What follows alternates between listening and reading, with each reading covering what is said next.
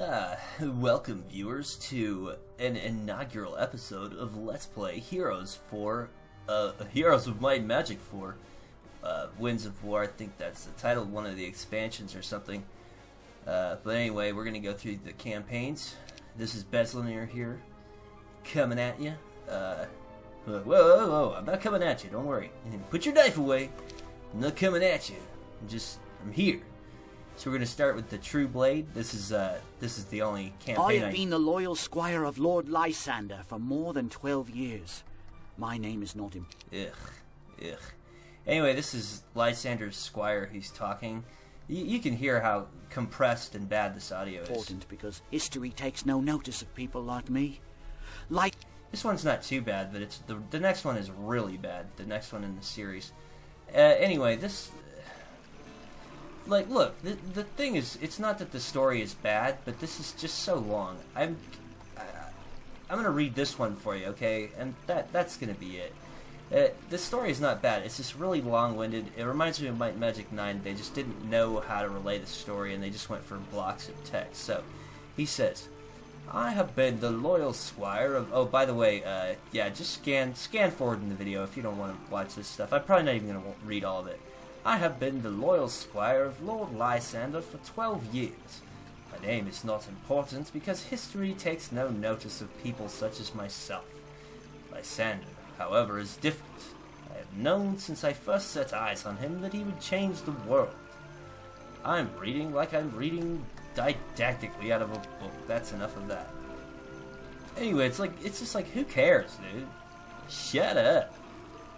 Anyway, I remember seeing a strategy on GameFAQs for what they were recommending with this, and I- I don't know about that. So uh, eventually, you're gonna want to build a caravan that allows you to send troops between uh, towns, which is pretty influential here. Uh, if you play your cards right, you're not going to get attacked on this map, so not much point in building a castle. Uh, unlike in previous games, I don't think that that doesn't increase your uh, troop generation. It only increases your defense, and uh, it is possible to get attacked. And I'll show you this right now. This is the main thing to know about this map. Okay, you have your area right over here, right? And down here, there's a bunch of uh, really strong guards. I think I forget what they are. They're like Griffin or Chimera or something. We'll see. And then over here, uh, just like southeast of this little Magi here, you can see the edge of this castle crenellation. This actually leads into en- enemy territory, but it's guarded by a strong, uh, a strong NPC like one of these, and a strong army. It's actually, yeah, that's what you would call it. I feel like in this game. Okay, so uh, what's basically the they've ensured in this map that until you uh, beat one of these strong NPCs, unless you wait insanely long, uh, you you're pretty much safe over here. But uh, if you take too much time, which you might well the first time you play this map because you're unfamiliar with it, then you could get overwhelmed because it feels like you have all the time in the world. But if you let like four months go by, uh, when you do get down to this territory that's all blacked out, it's going to be uh, the enemies are going to have all the castles. They're going to be consolidated. They're going to be really strong, and it might be impossible to beat them at that point. Uh, so yeah, okay. The story of this, uh, the story of this is, uh, and if you look on the, if you look on these maps, it's hard to tell at first. It's hard to figure out, but the, the the town that's highlighted in yellow on the tab is which town it is. So you'll you'll come to, uh, to get used to that. The only thing that's awkward is if if you want to use the um, the caravan, do you have to go to the town that you want to uh, bring the troops to. Click on the caravan and then find the town you want to transfer them from. You can't do it the other way around because it, it won't let you change the destination town. You have to go to the town where you want the troops from, or the the town that you want the troops to arrive in, and then yeah. Uh, so this is all. This is going to be pretty cut and dry. It should be pretty quick to get started. Um, there's just a few things to be careful of at first. I'm going to keep gold for XP. Uh, the major key to this. Uh, pardon me. The major key to this scenario, or this campaign, is to get Lysander really high in level. And all these people, uh, you want to develop their combat and their combat abilities. because by the third map in this campaign, you're basically going to be uh, uh, be winning all the fights with your heroes, and that's just the way they designed the scenario. Later on, they don't give you access to many troops, and uh, it's because heroes can fight in this game. That's how that winds up. The only problem is that heroes are really weak, but I mean, there's not much you can do about it. Um, so I don't like pikemen very much. I usually go ballista.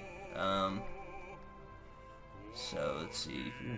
Won't hurt to get this person a few extra troops, but I think for now I'm gonna go with a city hall. And then we'll uh, we gotta make sure we get. We, there's a lot of um, a lot of sawmills and stuff to get, so got to do that. Each one of these towns, I think, has a sawmill and a ore pit by it, and uh, so that's pretty much the first thing you want to do is take those. Um, let me see something here. What's closer over here? Ore pit. So I might take the sawmill first over here. All right. Then we'll have one of each. Hey, we got a badge of courage. That'll help our morale a little bit. So it looks like we're gonna do a fight. Yeah, okay. I got time for that. I hope this LP doesn't suck. Uh, there's already a good LP going. Oh, one thing that's confusing to figure out is how your army's formation is going to turn out when you actually get in battle. And sometimes you have to save before a battle, and then like your formation will just be atrocious, and you'll have to fix it before the battle, which can definitely be the difference between life and death. And it really sucks early on because it's easy to lose heroes when they're low in level, and you know, as would be the case here, it's very important. And this guy got screwed. Uh, this stuff is ridiculous. For some reason, he can't hit those things, even though he's... Yeah, that's weirdness. Um, I'm gonna back her off. It's probably not gonna help, but um, I'll just heal her up. Uh, whatever. I mean, she can't do a whole lot else right now. Uh, these squires can do a stun, which is alright, but you'll tend to lose them pretty quick the the archers are pretty good for the most part. Uh, as with most heroes games, it's hard to keep them protected. That's the main key. Do uh, you can't. It's not a good idea to try to take out those satyrs. Uh, that's a lot of armies right there, and the satyrs are pretty high in level, so they will kill you. Don't even try it, buddy. It's nice how like opera starts every time you go into one of these things. Everybody want to act like they got an opera to sing. oh, uh, they do have an opera to sing. well, uh, I tip my hat to you, good sir. You truly are singing opera. Twas no joke, verily. Uh, what is this? Uh, oh, peasants can be... Alright, they can be helpful. Uh, one thing you gotta be careful of, as you can see, there's a crossbowman thing down there. Now, I don't remember a whole lot about that. I just know if you if you take the stock troops that you're going to get from this town and try to go down there, you're going to probably lose your hero. You might win the fight. Uh, if you do lose your hero, keep in mind, just move that, as long as it's not Lysander. I'll tell you, you can lose Lysander and still not lose the game in this scenario, but only if you're sieging a castle. So when you go back to a castle, your uh, character when you go back to a castle, your heroes resurrect. So, uh, that's to help you out. Jeez. Uh, let's see. Move these over here. I'm gonna, I'm gonna attack these things. I don't know what you're gonna do. Um, yeah. So if, if in, as a for instance, if you got to that thing uh, that battle and you tried to uh,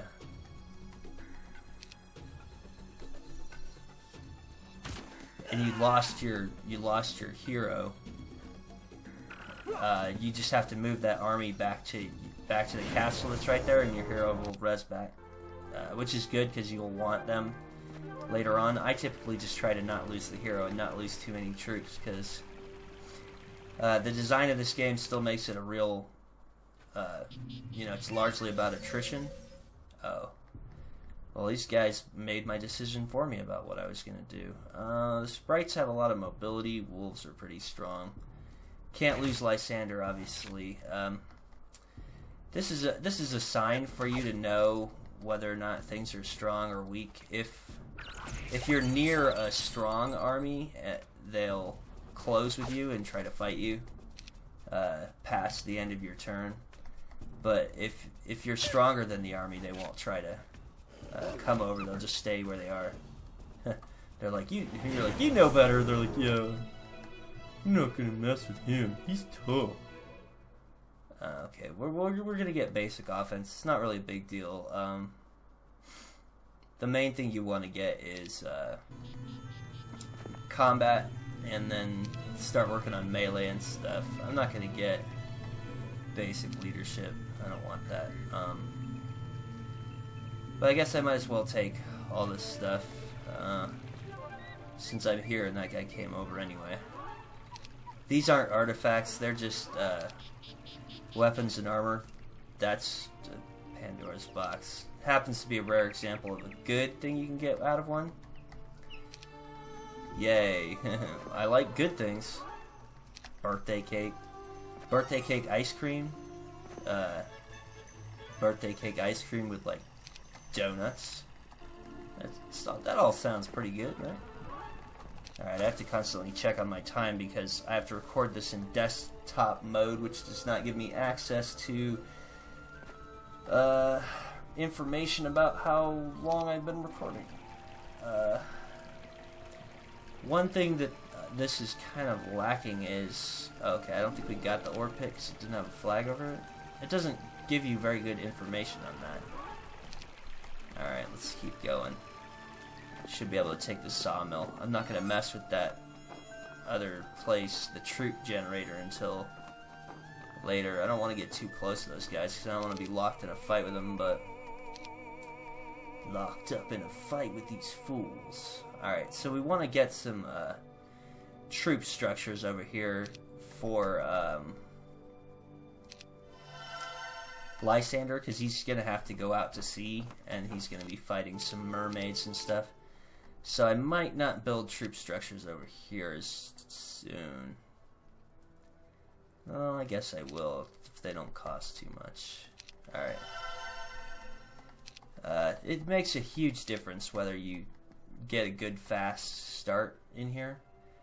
Uh, and it can, like, you can have dramatically different results if you just, like, uh, can manage to win a close fight with strategy okay. Weeks later, Lord Lysander departed, so that he has to. That's the goal of this thing is to retake gold mines, and this guy Sir Wharton is pretending to be the king because he has the Griffin Heart blade, which is lore, and Lysander's trying to strategize how to get recognized. He's like, recognize, fools.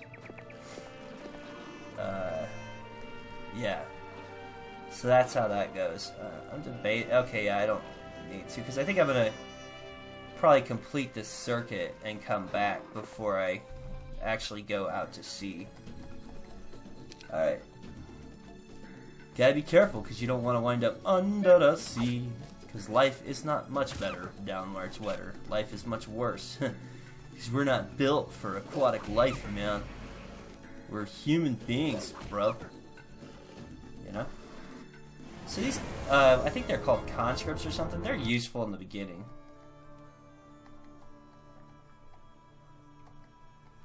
As soon as it's convenient, it's going to be a good idea to trade those out for something stronger, but... Alright, I gotta check on my time again.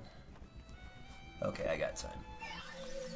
I'm aiming for uh, episode lengths between like 18 and 20 minutes here. Uh, right now, most of my heroes aren't all that useful. Uh, just I'm gonna keep this hero around, but we're not gonna use her that much once we get Prospero. If you've uh, played this before, then you know about Prospero. Uh, I think I just now realized that, that I'm pretty sure that that's a Shakespeare reference, but you know, whatever. Ooh, a Shakespeare reference. Suddenly, I have newfound respect for these guys. God dang it, man. Your heroes just start out weak. That's like the whole challenge of this game is just not getting your heroes killed early on. It's insane. Like they can't kill anything. They can't kill like the weakest troops. And when you see when you see how strong Lysander gets, you'll realize just how ridiculous that is. Uh, I'm gonna get base resurrection with her. That's a pretty good one. Yeah, that'll help to cut down on the uh, attrition of our troops. So we don't need to go in this direction. This is a big thing. Uh, you need a lot of. There's some strong enemies over there that guard a quest object that you actually need to get Prospero. I'm actually at the point where I kind of need to think about what I'm going to do next. I think I need some more troops. I can't do much here. I was going to do that. Come over. Right.